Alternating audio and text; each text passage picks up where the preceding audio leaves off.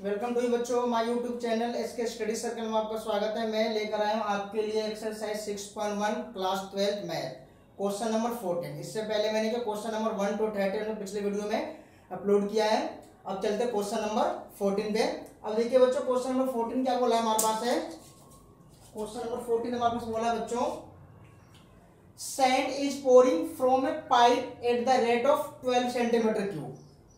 Per second the falling sand from a cone on the ground in such a way that the height of the cone is always one six of the radius of the base how fast is the height of the sand cone increasing when the रे height is four centimetre कहने का मतलब है, एक pipe है, उस pipe के अंदर कुछ रेत भरा हुआ है, ठीक है?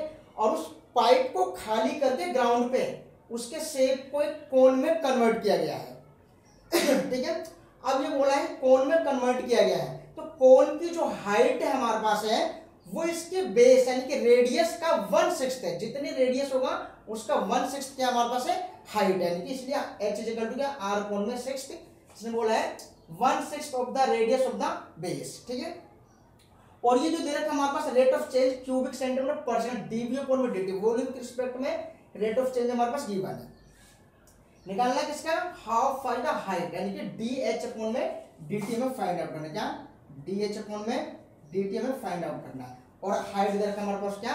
फोर सेंटीमीटर कौन की। क्लियर अब देखिए answer let we the volume H height और R radius of the cone given में हमारे पास क्या है? डीबी अपॉन में डी टी यानी कि twelve centimetre cubic per second ये हमारे पास गिवन है। हाइट एच आर अपॉन में सिक्स सिक्स एच आर ठीक है? और एच फोर सेंटीमीटर यहाँ तक गिवन है। ना इसलिए अब volume volume of cone one by three pi R square H one by three pi R की वैल्यू कितना है? Six H whole square V one by three pi thirty six H square into H V equal to one by three इसको काट दो यहाँ से, twelve पे चला गया, ट्वेल्व पाई एच के क्यूब। ठीक है? Rate of change rate of change with respect to t. ये dv अपॉन में dt twelve pi three H square और डी एच अपॉन में डी टी क्लियर अब dv अपॉन में डी टी की वैल्यू कितना है? ट्वेल्व ट्वेल्व पाई इंटू में मल्टीप्लाई कर दो उसके. Twelve into three thirty six pi H square D H upon में डी टी ट्वेल्व अपॉन में thirty six pi H square D H upon में डी टी कैंसिल कर दो ये थ्री बजा डी एच अपॉन में डी टी एच के value कितना रखा है? Four centimetre. एच की वैल्यू आप अप्लाई कर दो। थ्री पाई फोर के स्क्वायर डी एच अपॉन में डी टी कितना आ गया? Forty eight pi D H upon में डी टी फोर के square sixteen sixteen multiply three में. यहाँ उतरे बच्चों टी एच अपॉन में D T one by forty eight pi centimetre per second clear उम्मीद करते हो समझ में आ गया बच्चों नोट कीजिए इसे.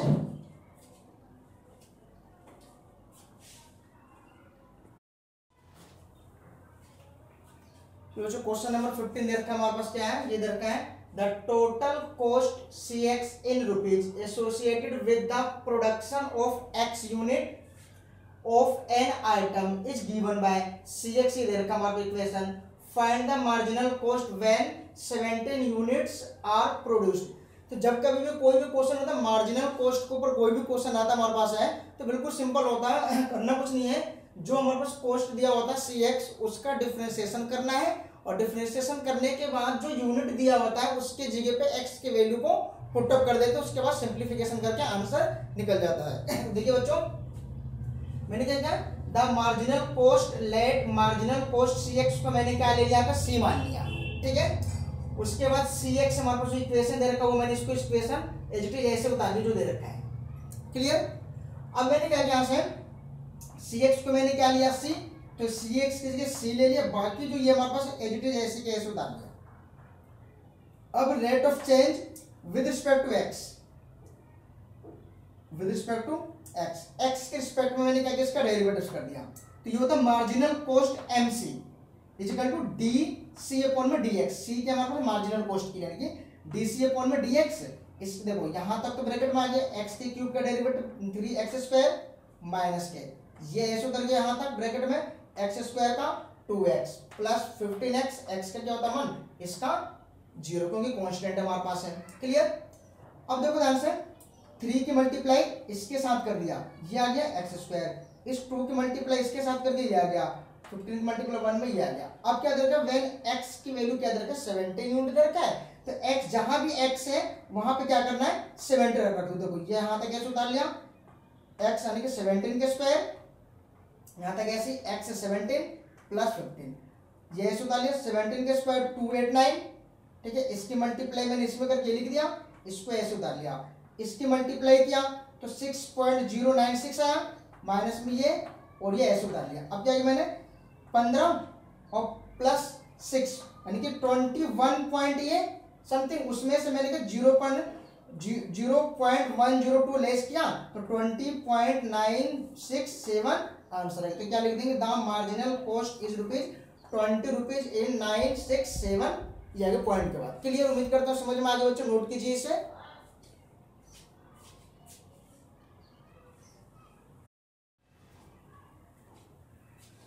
क्वेश्चन नंबर सिक्सटीन बच्चों सेम जैसे क्वेश्चन नंबर फिफ्टीन था, वैसे ही करना मार्जिनल कॉस्ट वाला। है इसलिए मैंने उसको छोड़ दिया। आप खुद ट्राई करना उसको, ठीक है बच्चों? Question number seventeen multiple choice question है। The rate of change of the area of a circle with respect to its radius r at r is to six centimetre हमें निकालना है रेट ऑफ़ चेंज एरिया का किसी respect में? Radius के respect में निकालना यानी कि डी ए अपॉन में डी आर मुझे फाइंड आउट करना है। क्लियर अब देखिए ध्यान से यहाँ से बच्चों। Let A be the area of circle and r b radius. Clear अब देखो यहाँ से ए हमारे पास क्या है? यानी कि pi r square rate of change rate of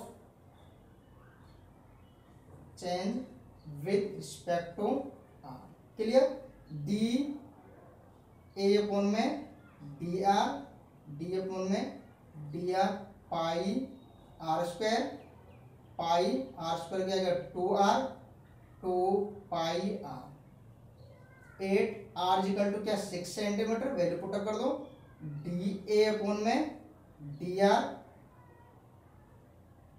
two pi into में six twelve pi centimetre square पर सेकेंड क्लियर उम्मीद करता हूँ समझ में आ गया होगा। ठीक है? इसका आंसर क्या आएगा हमारे पास? है? ट्वेल्व पाई आएगा, सबके साथ पाई इसमें नहीं लिखा है, ठीक है? क्या जाएगा? ट्वेल्व यहाँ लिख देना।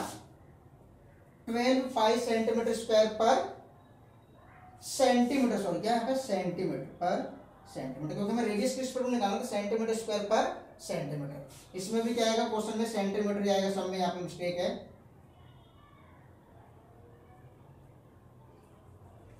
क्लियर उम्मीद करता हूँ समझ में आ गया, बच्चों नोट कीजिए।